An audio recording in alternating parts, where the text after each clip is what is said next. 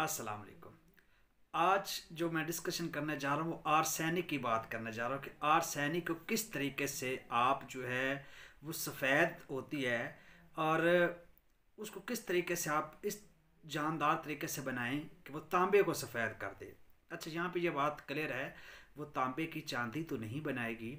तांबे को सफ़ेद इस तरह कर देगी कि वो हमलान होता है, वो बिल्कुल चांदी की तरह होता है। ये बात मैं आप लोग को क्लियर कर दूँ।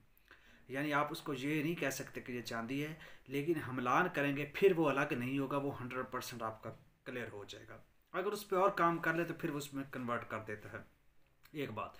दूसरी, अगर वो सफ़ेद चांदी सफ़ेद तांबा आपके पास है तो उसको रंगना आप लोग के लिए बिल्कुल आसान होता है। खैर, चलते हैं नुस्खे की जानब। क्या करना है जो कैलोट्रॉप्स, मदार, अक जिसको बोलते हैं, इसके जो फूल होते हैं ना, सफ़ेद सफ़ेद वो आप लोगों ने कॉम्प्ले ले लेनी है। उनकी आपने नुकदा बनाना है। उसमें यानी एक स्टांक नीचे, बीच में आर्सैनिक, साफ़ की हुई हो मुसफ़ा हो, शीर मदार में तर की हुई हो, ऊपर आप आधा वो स्टा, एक स्टांक ऊपर आप रख दें, वो कॉम्प्ले जो फूल सफ़ेद फूल हैं उसके अक के। तो इस तरीके से आपने दो किलो नमक नीचे, दो किलो ऊपर।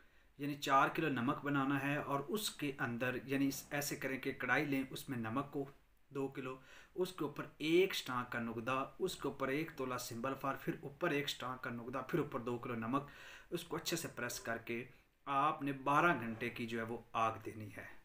यानी लकड़ी की आग जो हमारा होता है भट्टी वाली आग, ठीक? ओपलों की आग नहीं।